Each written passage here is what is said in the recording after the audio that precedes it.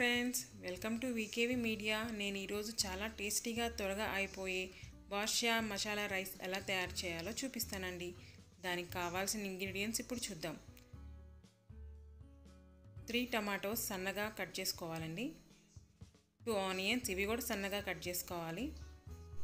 Three పచ్చిమిర్చి అండి. కొత్తిమీర పుదీనా గరం మసాలా ఒక కప్ పెరుగు బిర్యానీ ఆకు దాల్చిన చెక్క లవంగాలు అల్లం వెల్లుల్లి పేస్ట్ పసుపు కారం ఉప్పు. సో స్టవ్ వెలిగించుకొని కుక్కర్ పెట్టుకోవాలి. మసాలా దినుసులు అన్నీ వేసేసుకున్నాక అవి వేగాక ఉల్లిపాయలు పచ్చిమిర్చి వేసుకొని వేగాలండి. తర్వాత అల్లం వెల్లుల్లి పేస్ట్ కూడా వేసుకోవాలి. అది కూడా వేగాక టమాటా వేసుకోవాలండి. ఇదిగోండి ఇట్లా వేగాలి. ఆయిల్ బయటకు వచ్చింది కదండి. ఇప్పుడు నేను కారం వేసుకున్నాను. తర్వాత పసుపు.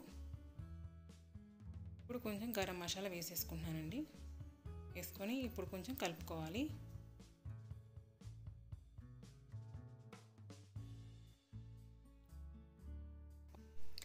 ఇప్పుడు ఆయిల్ బయటకు వచ్చేసిందండి ఇప్పుడు మనం ఒక కప్ప పెరుగుని వేసుకోవాలి. క్రీమీగా ఉండాలి పెరుగు. కలుపుకుందాము.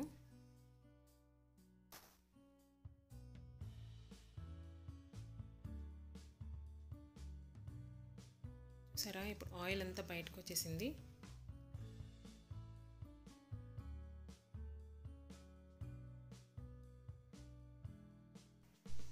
ఇప్పుడు మనం రైస్ వేసుకోవాలండి. నేను ముందుగా నానబెట్టేసుకున్నాను. ఒక అరగంట ముందు.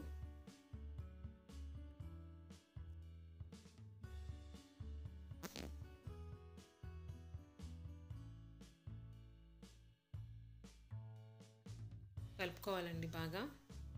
ఇలా కలుపుకోవడం వల్ల రైస్ అనేది చితక్కుండా చాలా సాఫ్ట్గా బాగా వస్తుందండి.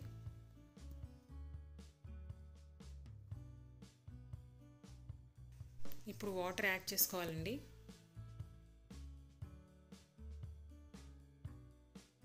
నేను ఫైవ్ గ్లాసెస్ ఆఫ్ రైస్కి వండుతున్నానండి.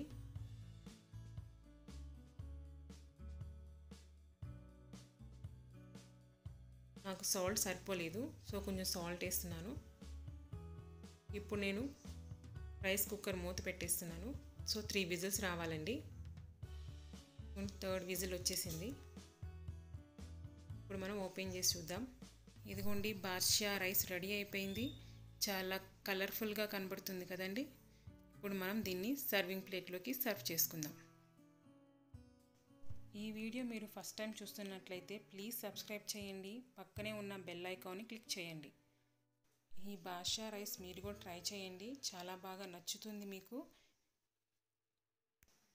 ఈ రైస్ని రైతాతో చాలా బాగుంటుందండి.